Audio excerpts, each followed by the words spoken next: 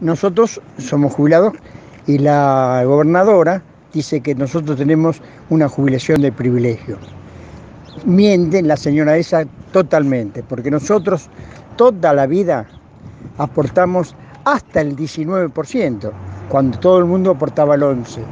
Y nosotros nuestros primeros aumentos que venían, iba lo primero que hacía a la caja, todo a la caja, el primer aumento, el primer sueldo, en, fin, nosotros estuvimos aportando. Y ahora de jubilados aportamos el 12%.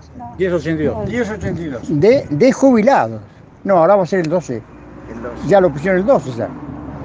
Así que no, no, nos sentimos muy, muy perjudicados, porque aportamos toda la vida ese porcentaje. Si a mí me devolvieran lo que yo aporté y lo que aportó el banco por mí, y me llevaría dos departamentos. Dos departamentos, lo menos de un millón de dólares.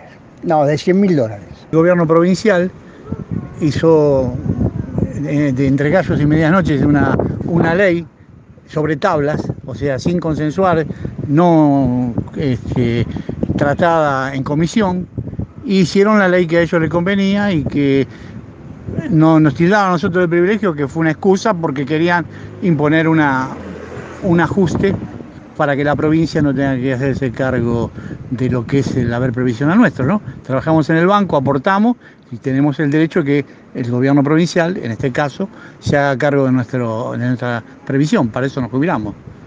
Y, este, y bueno, y sacaron esa ley para, para reajustarnos. Es un recorte muy importante que nos afecta mucho. ¿eh? Y, este, y aparte no solamente a nosotros los jubilados, afecta a los activos, que se van a pasar a jubilar con el 60% de la jubilación. Eh, yo soy de La Plata y en La Plata la realizamos cada vez que corresponde porque tenemos que defender nuestros derechos, que no son de privilegio en absoluto. Eh, acá eh, la gobernadora pretende de que lo que se tiene que hacer cargo la provincia de afrontar los pagos de los jubilados, quiere que lo, que lo afronte el Banco de la Provincia. Si el Banco de la Provincia lo llegase a afrontar, se funde el banco. Es decir, que nos cierra las puertas de todas formas. Y eso arbitrariamente. Mucha gente se, se apoya porque no quiere, no quiere este gobierno. Entonces nosotros no queremos politizar. Pero eso. Eh, lo importante acá es que esta gente también quiere al Banco Provincia. Ya lo quiso Caballo.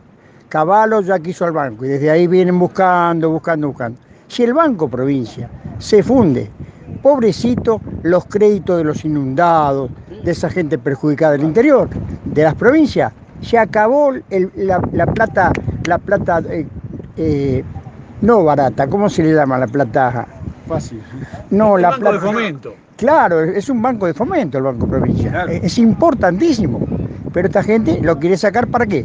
Y después, anda a pedirle crédito a los privados. Te arrancan la cabeza.